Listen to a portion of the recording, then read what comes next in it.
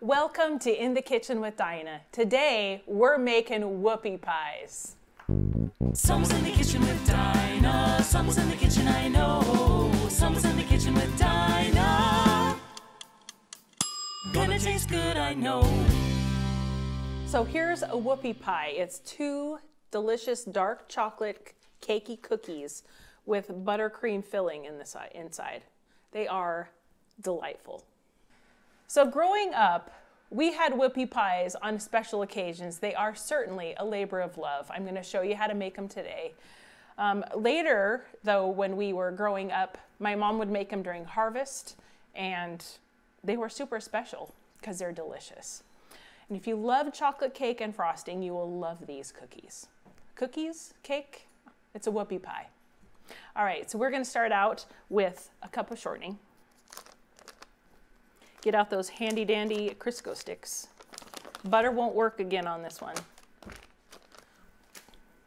And I'm going to add two cups of sugar. And then we have two eggs and two egg yolks. So I got two eggs in there. Separate out your egg yolk. I just do this. Some people use their hand. I just scoop it real gentle from one to the next and get the white out.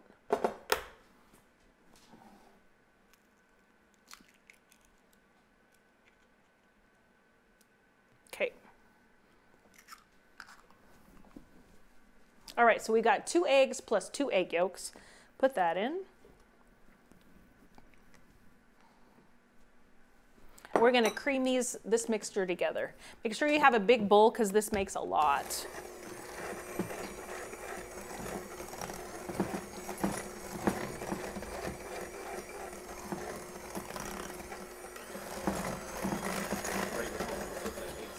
Mm-hmm, it does, doesn't it?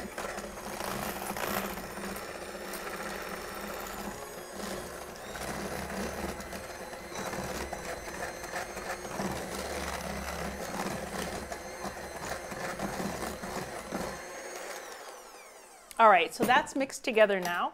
We're gonna add some more ingredients. This is a little complicated, but I'm gonna show you, so hopefully you can do it at home too. All right, so some of the magic in this cookie is the cocoa. So I'm gonna get one cup of hot water just out of the tap, so hot that you can't hold your finger in it, that's how hot, and just one cup, so I'll be right back. Okay, now it's getting hot.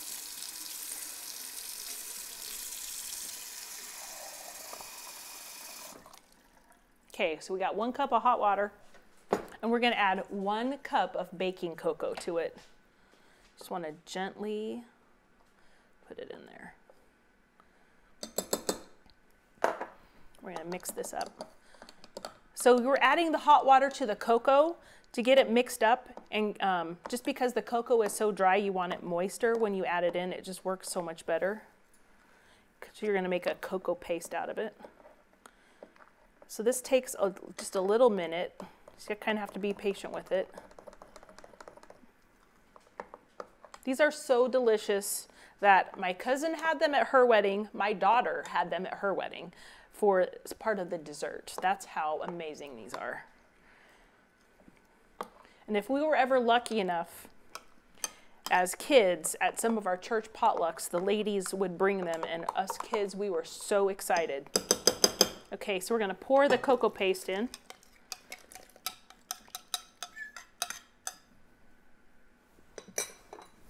It all out of there. When I met my husband, he had never heard of these before. So it must be definitely a regional thing.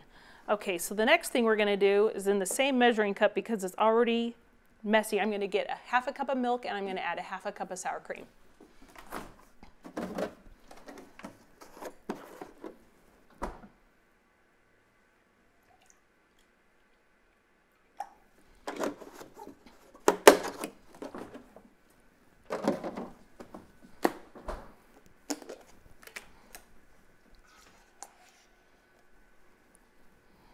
Okay, and mix all that together.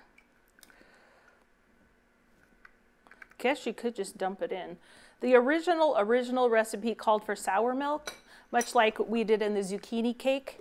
But after, I think my mom figured out that using sour cream and the milk made it a moister, cakier part of the cookie. Okay, so we're gonna put that in. I know it kind of looks like a mess in your bowl, but don't worry. Okay, so let's give this a, a mix real gently. This really is gonna make a mess because it kind of splatters everywhere and it's gonna, you're gonna think that you mix, messed them up, but don't worry. Scrape it down a little. Get it off the bottom. Okay.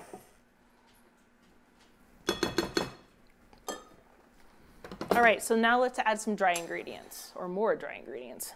Let's get a, uh, nice glug of vanilla in. All right, so now we're gonna have two teaspoons of soda.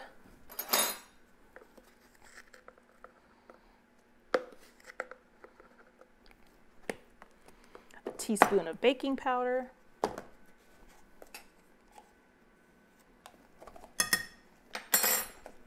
And a half a teaspoon of salt.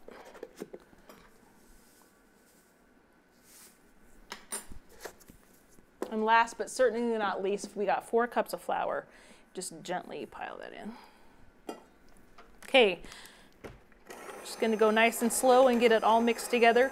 This definitely is more like a cake batter kind of consistency when we're mixing it up. It's definitely not a thick cookie batter that you might be used to. By the time you're done, you it's a sandwich cookie. So for every two cookies, you get one cookie after we put the filling in here in a minute.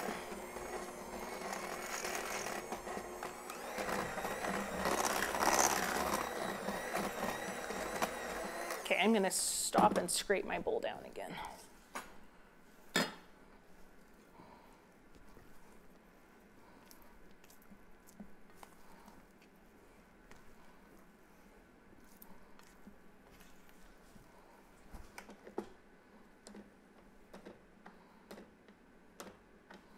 All right.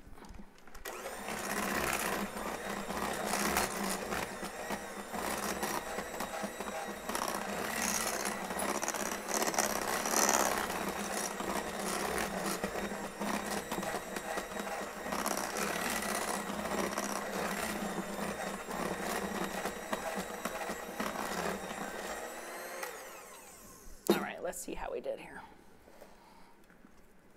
Just scrape the bottom, make sure I got it all mixed in good. This bowl, sometimes it likes to hide ingredients on the bottom. That looks super great.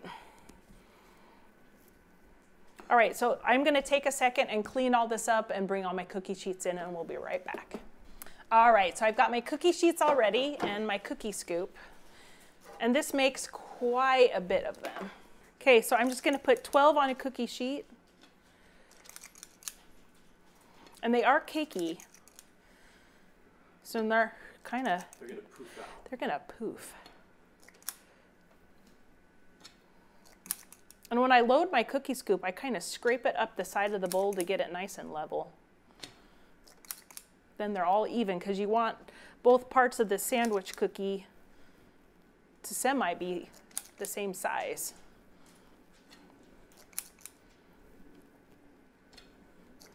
All right, so I'm gonna keep filling my cookie sheets. I got both my ovens going today because we are gonna get these done.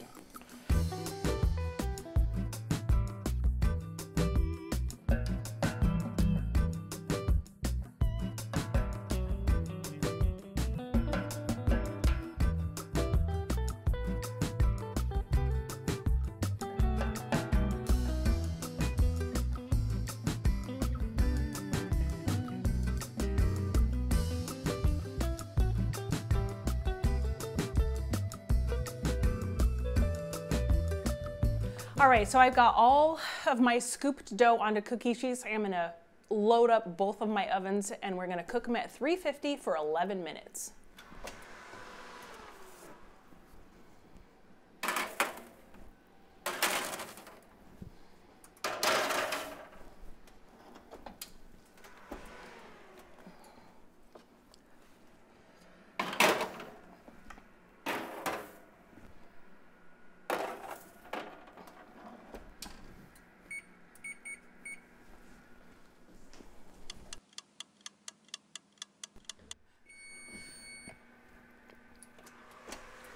You guys could smell these. It smells so delicious.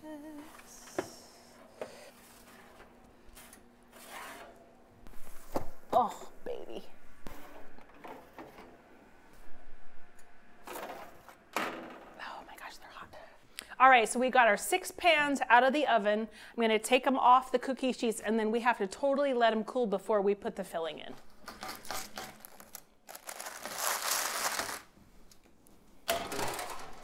And this is why I use parchment all the time. It just makes my life so much faster and easier instead of scooping these off each one with the spatula.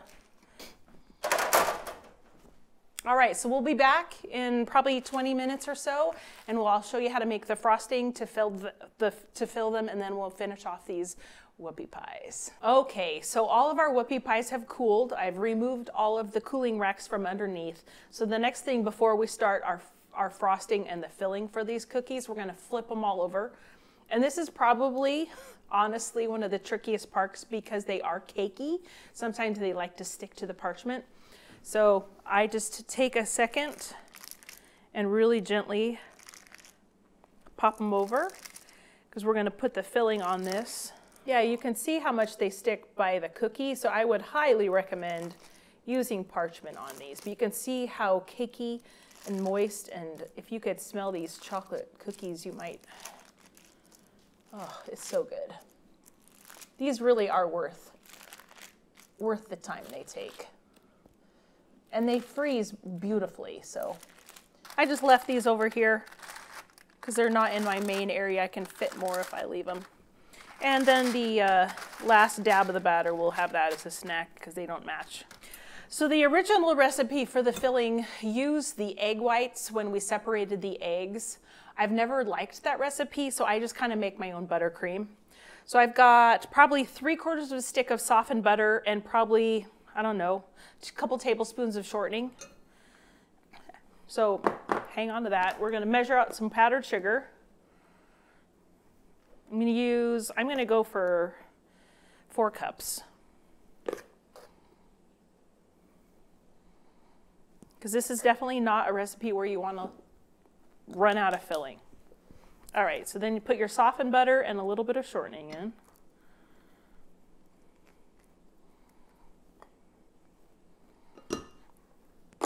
And we're to mix this up here quick.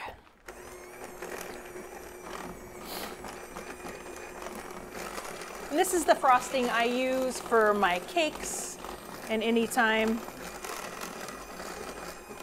Okay, so you just kind of want to incorporate it till it's crumbly.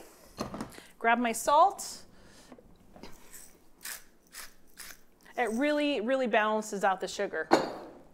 All right, give it some glugs of vanilla.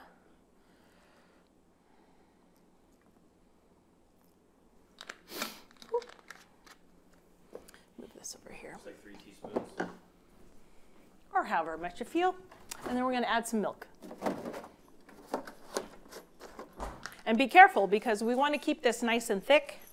So add probably a couple tablespoons to start.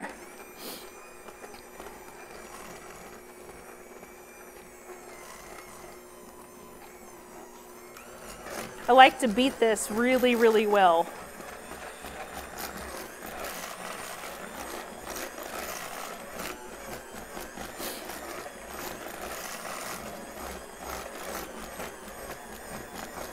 Make sure it's all really well mixed in.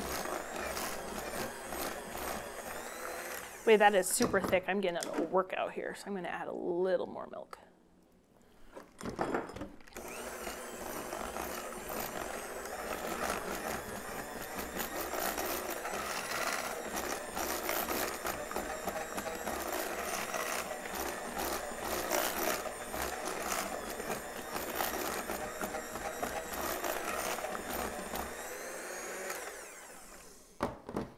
Okay, let's see how that looks.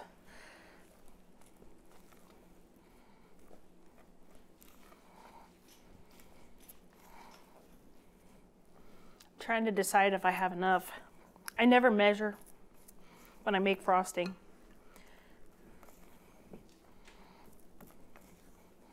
Maybe I ought to, but I guess I never have.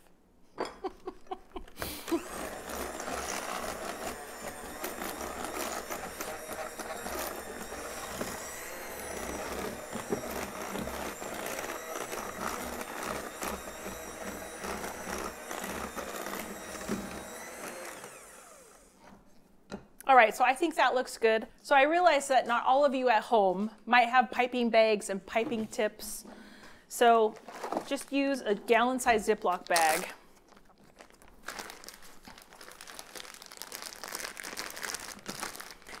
And no. Go lay down. He smells the butter over there. I would use my bag holder, but I need it this way. Just gonna pop it in this bag. And I would do the same thing with a piping bag.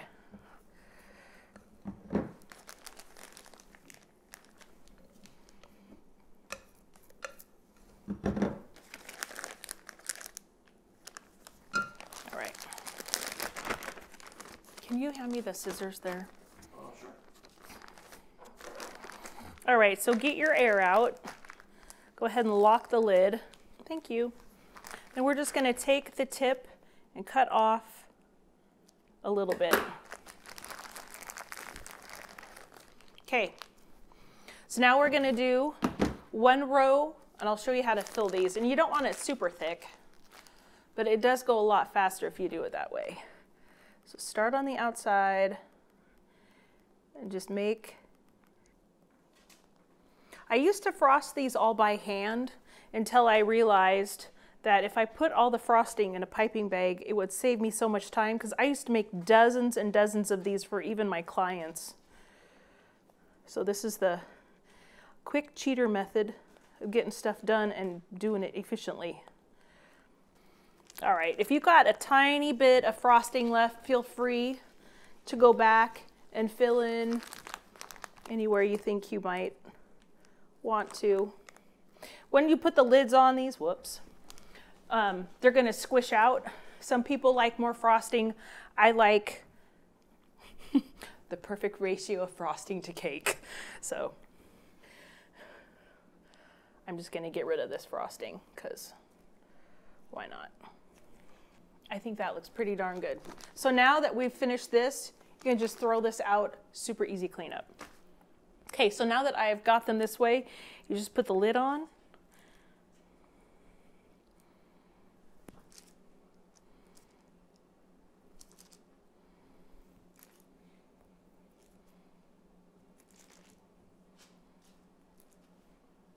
Since you use the cookie scoop, they should all be very uniform shape and size, which is perfect.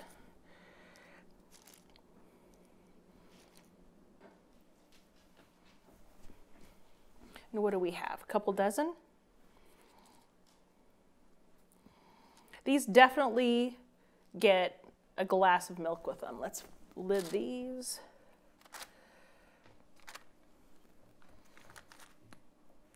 See that one could use more. Look at that one. All right, so here is the finished whoopie pies. It looks like we get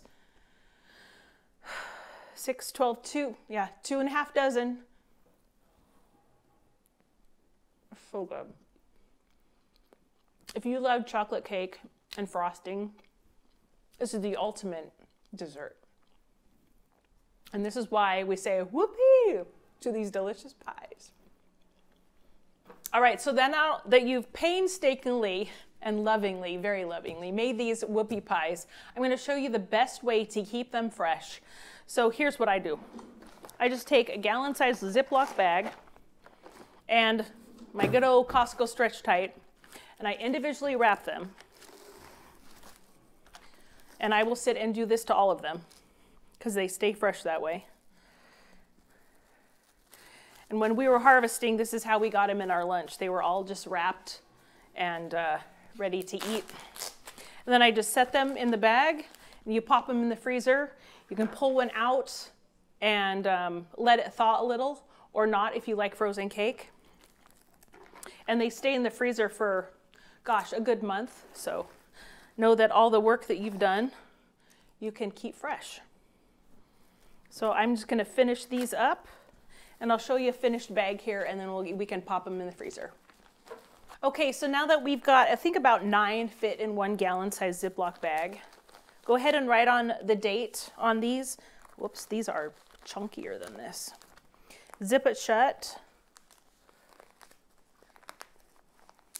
Then I just lay them in the freezer like this, and once these get um, frozen, you can just stack them on top, and then you can pop them out and thaw them as you need them. They're delicious. They're great to serve to guests. They're great to pop in kids' lunches, and they're great to just have a stress relief, chocolatey, cakey snack. I hope you try these at home. They are labor love, but they, they are worth all the time that you spend on them to make them because they are so delicious. Don't forget to give me a thumbs up, subscribe, and like this video and share it with a friend. I know these are pretty regional and a lot of people have never heard of them, so share the love. You guys have a great day. Thanks for joining me. Let's see, I'm gonna put this over here so hopefully you can see what I'm doing. Can you see it here? Where's my recipe? Whoopee! That's what we said when we eat them. They're so good. Holy cow, these are hot. We'll eat those. We're eating all of these, but those are the snacker. We're good. Let's clear this. I'm trying. Do our super shot. Super shot, super shot. Billy-I-O. Gonna taste good, I know.